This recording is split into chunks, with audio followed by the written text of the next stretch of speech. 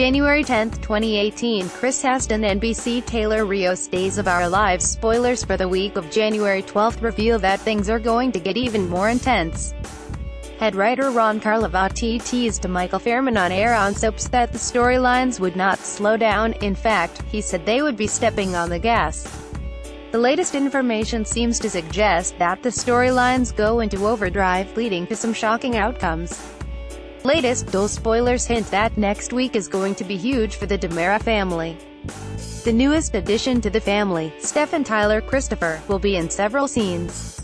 He recently made his on-screen introduction. So far, he seems to be a bit of a villain. However, he can't be completely evil if he thinks Vivian Alamain Louise Sorel goes too far. Before that happens, Stefan and Vivian will discuss their plans for the DiMeras. Although it seems that the new heir wants money, power, and control, is there something else driving him? After all, he paired with his villainous mother, and she is only interested in revenge she would have no problem delivering some fatal blows to her enemies. In particular, Kate Roberts DiMera Lauren Koslow.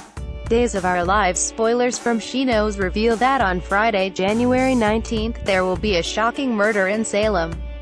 There will also be another big event. Vivian suggests they go to extreme measures. What she recommends shocks and appalls Stefan DiMera. Could it bother him so much that he will go to great lengths to stop his own mother? Is the murder connected to Vivian and Stefan's discussion? Before fans get carried away, it doesn't seem likely that Stefan will suddenly turn into a hero. However, characters are best when they are multi-dimensional with several layers. In the past, it was common for soaps to write pure good and pure evil characters. These days, they are a bit more complicated, just like people in the real world. It is likely that Stefan wants what he thinks should be his. He may also recognize that Andre Thaao Penghlis and Chad Billy Flynn are part of his family. If it weren't for Vivian, Stefan wouldn't even know about the DiMeras. This might make him feel a bit conflicted when she gets overzealous and tries to do the unthinkable. According to Soap Central, there might be a conflict between the troublemaking trio. Stefan, Vivian, and Andre can't trust each other. It is teased that one betrays the other two. However, it might get far more complicated as time goes on. Fans will just have to keep watching Days of Our Lives to see how this storyline evolves.